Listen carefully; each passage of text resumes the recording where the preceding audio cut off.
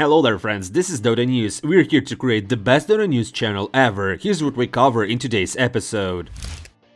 Gorg thrashes Nightfall, Overplus will obliterate Dota, Boxi causes a scandal at a tournament, Ame is no longer considered a genius, and much more. Without further ado, let's get straight to it.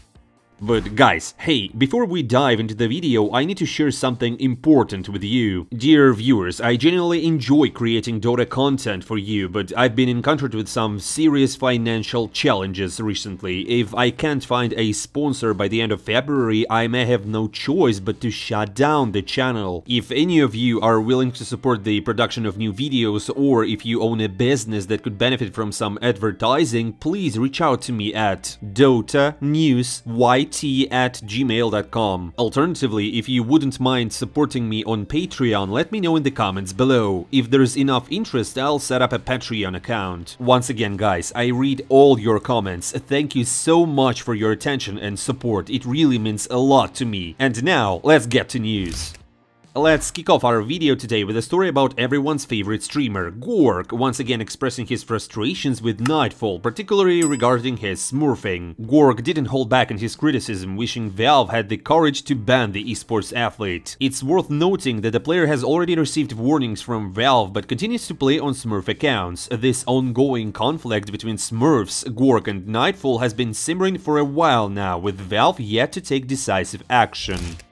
Now, let's delve into the probably most hotly debated topic in Dota right now, the bans related to Overplus. You see, friends, Dota's online player count dropped by about 25,000 people in just one day, largely due to these bans. As we mentioned in our previous video, many of those banned are streamers and high-level players. For example, the top player of the Chinese ladder received a VAC ban for using Overplus. It's also important to remember that receiving a VAC ban locks you out from the community market and trading, resulting in thousands of extremely valuable skins being lost forever. On one hand, this wave of bans is beneficial for the community, eliminating malicious players and showing that Valve is monitoring the game and striving to improve it. However, on the other hand, it's tough to label the use of Overplus as cheating, which makes it hard not to feel sympathy for those of some affected users. Guys, what do you think about this whole Overplus situation? Write your thoughts in the comments below.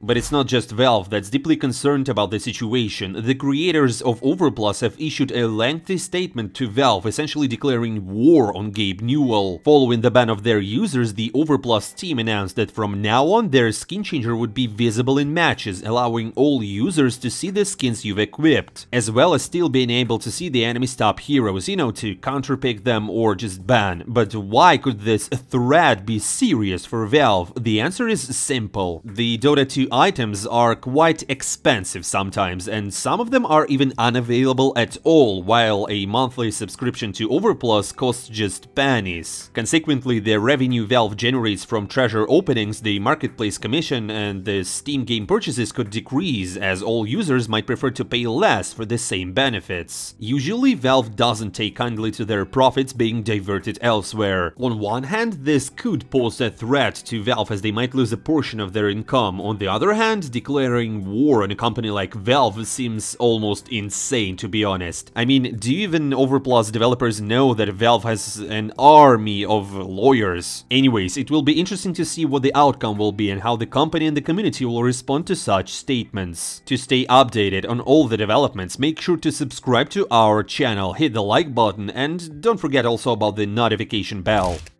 And more on the topic of updates, it's also worth mentioning the treasure. Yes, we've already mentioned this in our previous video. However, we unfortunately forgot to share an interesting fact about the main reward. So basically, this reward, this ancient skin with the dragon, will only be available in the year of the dragon, which is this year, and the next time it's 2036. Yes, that's right, 2036. So if you didn't get it or buy it yet, you might want to hurry, otherwise you'll be waiting for another 12 years. Speaking of celebrations, it's impossible not to mention the wonderful Dota tournament known as BB where a 1v1 tournament took place, won by Nisha, who defeated XM in the finals. Throughout the tournament, he played against ATF, Malr1ne, SquadX, and GPK. In the finals, he played as Mirana, Shadowfiend, Marci, and Meepo. And by winning it, he earned $50,000. According to Nisha, he won't be giving all the money away, but he might share a bit with his team, as they were, quote, quote, a big help to him. Additionally, he mentioned that he would definitely be spending part of the money on skins for CS2 or Valorant. Hey, just wait, does it mean that we can lose one of the best mid laners in the world to CS2 or Valorant? Anyways, it will be interesting to see which team Nisha decides to join. I guess it might be Team Liquid, because they also have a CS2 team. And what role he will choose, like the sniper or the rifler or whatever. Anyways, it's all just banter. But guys, what tournament can go smoothly and have no scandals? Correct, if it's a Dota tournament, then none. Obviously, this time was no exception. The tournament had a rule that wards could not be destroyed because they grant gold and experience. I mean the 1v1 tournament. And during a match between Boxi and Save, the Team Liquid player placed a sentry ward that revealed Save's observer ward. Boxi himself didn't touch the ward, but the creeps destroyed it, and Boxi received additional gold and experience. And obviously, opinions were divided. Some demanded a technical defeat for Boxi, arguing that he had indirectly violated the rules, while others claimed that he hadn't broken any rules, since he didn't directly interact with the ward. Ultimately, the judges decided to continue the match, ruling that Boxi hadn't technically broken any rules, but they promised to pay closer attention to such incidents in the future, which didn't occur further. Guys, what do you think? Should Boxi have been given a technical loss or did he play within the rules? Write your thoughts in the comments below. And some more news from BB Dacha. Ori, uh, you know him, the Chinese player, compiled a tier list of the best mid laners, and surprisingly he placed all the players in the S tier, with the exception of PYW and DY. Wait a minute, what are they doing here again? If my memory serves me right, both players are supports, not mid laners. So how did they end up on the tier list? Hopefully this was just a light-hearted trolling by the organizers and Ori rather than an insult to the players. As for the tier list itself, there is room for debate, as some players perform much better than others, for example Armel or Setsu. But regardless, the level of play is very high and the player's achievements should not be discounted under any circumstances. And since we're talking about mid laners, there's something more. Now it's about Malr1ne, the Falcons mid laner. He provided some insights on a variety of significant topics. For instance, he shared what he will do if he wins the International. He says that he will still be a regular Dota 2 player even if he wins TI. In his view, there is no point on putting oneself on a pedestal and one should always prepare for the worst and hope for the best. He also discussed the hype surrounding Ame, stating that the excitement will be warranted only if Ame secures a victory at BB Dacha. And towards the interview's end, Malr1ne did something many eagerly awaited. Just take a look at this. Yeah, I have a really important question over here. Just gonna delay you guys sitting down. Can you meow into the microphone for me, Malr1ne? Meow. Can you meow longingly as if you had a twin and you just discovered them and met them for the first time? Is this normal behavior for him? That's good. This you guys is a typical day in our practice room. You guys can take your Alright, yeah, you guys can, I feel like that definitely deserves And on that note, let's move on to the matches.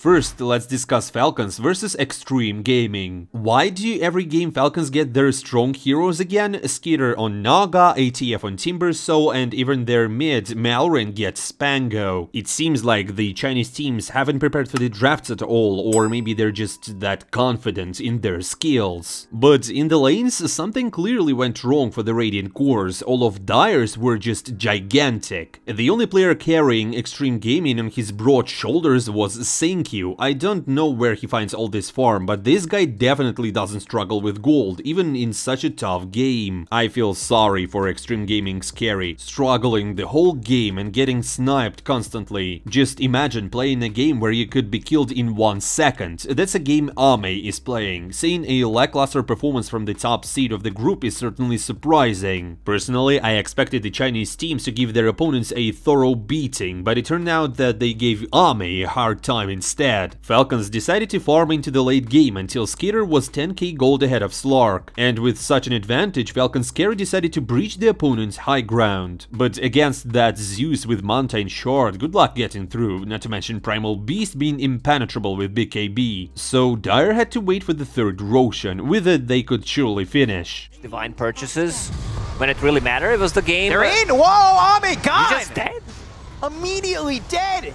Life drain on the Nether Ward, but it's not going to really do much for them. DY is going to decrepify themselves. They got some damage on Ammar, but the song is there to reset it all. They're going to heal. They've got the shard onto the Naga Siren. So look at all these heroes at full health for the side of Falcons. This looks like the final fight. They get the kill on XinQ as well as DY. This is XM with the BKB right-clicking away. They've got the pulverize out of Skiter, but it's looking like it might be enough damage to finally get the kill on the Naga Siren. He's going down. He's dead. They bought back on the Crystal Maiden. They've got the Rolling Thunder. That's going to put XM up in the air with that axe. He's shield crashing, doing some bad damage with the Swashbuckle. They take out XM. Triple kill here for Ammar. Pounce leashing. That lands on a Crate Life Drain coming out from DY. Rolling Thunder still going for a second longer. Nightmare's going to be reflected with the Lotus Orb. Snake King's here. They've got the Nether Blast and the Life Drain coming out from DY. Mage Slayer holding them back a little bit. Uh -oh, with the BKB Ame's in trouble. around. Ame's going to be back into this one with the Fiend's Grip on Ammar, but the damage coming in. The Life Drain's not going to be enough to save Ame. He doesn't have buyback. He's dead for 108 seconds. Uh, Ammar's going to go in for the rest. DY is dead. Triple kill again. Everybody gone on the side of Extreme. Falcon. And at that Roshan, ATF and his bros just demolished the Chinese team, taking down 8 heroes from Xtreme Gaming. And they had no buybacks, so it was much easier and faster just to go and make the Mega Creeps. And that's exactly what Dire did. And there it is, the long-awaited last fight. Doing. These creeps being cleaned up very quickly. The blink right on top of DY. They get the kill there onto this Pugna as well as the Bane, so there's no supports to help him out. Ammar's going to be left with a fourth of his health. They go to the Pulverize. They get the kill. So he's going to be dead. That's going to be Aegis coming back into the fight, but they've got the song, so they'll reset the three quarters of Xtreme Gaming against XM. the entire side of Falcons. They're going to go for XM. They've got the double chakram. That's on everybody. So they'll look over at Ame. That's going to be Euls up into the air. XM, XXS trying to survive, but there's the Uproar activation with the Rolling Thunder. That's going to bounce up Ame. They get the kill on XXS. It's just two heroes left on the side of have buy. Extreme. They get the kill on Ame. They look over at XM. Everybody dead, and that's going to be Seems like Ame and the guys haven't woken up yet, but maybe they'll pull themselves together for the next map. But it seems that they didn't, especially Extreme's mid laner. The draft for Dire was clearly stronger and it seemed like the Chinese players had won their lanes, but then Mr. Malr1ne, who had completely outplayed his opponent in mid, decided to assist his teammates by roaming to every lane. Skiter didn't particularly benefit from this support, but the Falcons offlaner ATF managed to farm the necessary Euls for the team. Basically, it was really important for him to build this item. By the way, I recommend you to try this build against mobile heroes. I personally found it more effective than a physical build. The main focus of aggression this game was XM. From the get-go, the mid laner was having a rough time, constantly finding himself in tricky situations. Yet, even with their team slightly behind, Ame was having a great game, engaging in excellent fights and securing the first Roshan. Interestingly, while Xtreme Gaming were taking down Roshan, Falcons caught a Wandering Storm Spirit and took him out. And then they also got Techies. I really like how ATF decided not to go with the usual build for his Mars, but instead he opted for a Euls and a Blink Dagger. This not only provided an escape from Juggernaut's ultimate, but also made it easier to catch Storm Spirit, a tactic Malr1ne and his teammates made good use of. Dire had no choice but to mirror their opponents. Falcons made it to the high ground? That means we can too, let's go guys! But the only thing they didn't consider was that Radiant were just buying time for Skiter, while his teammates were fiercely battling with Xtreme Gaming to life and death, he just tore down the barracks of the Chinese team. At the 40 minute mark, Ame made his first critical mistake and died. Honestly guys, I would have lost it too, seeing how my mid laner was playing. But he didn't stay down for long, he had to buy back and go take Roshan. However, Falcons calmly waited out the Aegis and cunningly encircled Xtreme Gaming at their base. Once the Aegis expired, they effortlessly entered high ground and took the last lane. Guys, here's a little note, the lags were on the broadcast itself, not in the video. Unfortunately, there's nothing I can do about that. And then ATF was just messing with his opponents, having fun. I felt like this game was some kind of a Tundra gameplay from the Victorious International run. It was very suffocating, I really struggled to watch this match.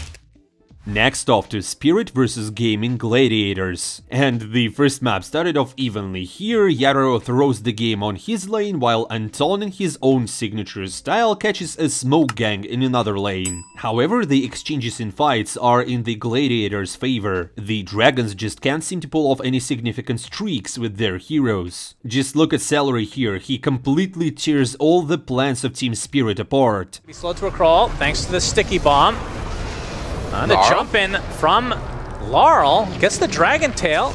There's the blast off onto two. Soulbind as well, but the BKB is popped from Dyrachyo. Takes out one Double roar. That is just the techies. It's a black Nice hole black hole. onto two, and Quinn rolling on deep with that Aghanim Scepter shield crash doing so much damage. They get three, make it four. Ace with the triple kill. Only member left is Yatoro, and there's no way he can contest this Roche now. After such a disheartening fight, the Dragons couldn't make a comeback. They lost the side, decided to take a terribly bad fight, and indeed with such gameplay, GG are not to be defeated. Quinn and the boys went full throttle and knocked Spirit out. Now they're just one map away from pulling off a sensation. In the second game, the Dragons surprised us with a Kunkka for Collapse. Usually we see this hero played by Larl, it seems like Team Spirit had a secret strategy up their sleeve for this one. However, secret strategies didn't help much in the lanes, where GG just outplayed Spirit this time around. But in teamfights, the Dragons still excelled, and a single mistake could cost a lot. Larl secured a nice triple kill for himself, and the game started to pick up pace. Surprisingly, Dyrachyo wasn't caught as often in this game. It's unclear whether he's just reading the opponents really well, or he's been incredibly lucky. Are arriving. A little too quick. Dyrachyo does not care, wants to get that. Oh my god. All right, absolutely deletes Mira, but the Yeah. X into the boat coming. Not a whole lot of mana for collapse though. They need to run. There's Larl uh, RP'd into the arms of Dyrachyo. Sonic Wave comes out though, but the Chronosphere right on top of him. Yatoro can't hit him mm-hmm. because of the ult. The Shadow Dance is doing work here, and now the Black Hole onto Yatoro, and they killed the Quap as well. Disaster strikes for Team Spirit. Miposhka looks to be next on the list. It'll eventually come surely. And this seems like the moment when GG's carry really started to solo carry the game for his team. He baited out all the key abilities from the enemy heroes, stayed alive, and also dealt significant damage. Turns out Dyrachyo was just getting warmed up with his aggressive battle tactic. Just look at how Dyrachyo played the role of a scout and pulled off another fight win for his team. HP. They need a very crisp fight, but Ratio is on the mission of Yeah, breaking. Dyrachyo gets off the Dark Pact. Initiation now onto Kunkka. Well, actually, Shadow Dance already. Oh, there's the Harpoon. Oh, Skewer into a pounce. Larl is the recipient, gets What off the Sonic the Wave, but he dies shortly after. Now the BKB popped by Dyrachyo, focusing on Kunkka now. Collapse. Gets off a nice Torrent Storm as Ace finds his way out of the Serpent Wards. Tidal Wave comes out as well, but the shield crash from Quinn keeping heroes busy. Already two cores dead for Spirit, though, which means they are going to have to back away. Oh, That's one guy's dead. support down now as this fight has... Ace put a decisive end to this map with his Rampage, sending Team Spirit to the lower bracket. And by the way, this was the first Rampage at BB Dacha. And just like that, Gaimin Gladiators pulled off an upset at this tournament, breaking Team Spirit's massive undefeated streak. And so, after this match, Team Spirit's impressive 35 game winning streak has come to an end. All the players acknowledged making numerous mistakes and admitted that GG were just stronger today. We're hoping that the Dragons will soon set a new record and make history once again. But even as the Dragons' Dota win streak has come to an end, they've pulled off a real sensation in CS2. Yes, that's right, CS2. Team Spirit won the IEM Katowice 2024, sweeping FaZe Clan with a 3-0 victory in the finals. The tournament's MVP award went to the team's youngest player, Dawn, who is just 17 years old. So congratulations to Team Spirit on such an achievement, and we hope they continue to deliver strong performances across all esports disciplines. And as always, let's wrap up with the best moments. We'll kick things off with a rampage from Ace. X to start things out. Orchid onto Yatoro. Well, they actually might have found the connection, but Cold Drop. Embrace now. A lot of this damage is mitigated, but there's a Chrono, but He an got cursed. instant curse on top of the Void. It's going to mitigate all of this, and Seleri gets a nice black hole. Yatoro will be the first to fall there, along with Larl. Ultra kill for Ace. And that'll be GG's called. Collapse the last remaining member. They're trying to give the rampage to Ace. Next is the battle for Roshan between Falcons and Xtreme Gaming. Fine purchases. When it really mattered, it was the game. They're in. Whoa, Ame gone. He's just dead. Immediately dead.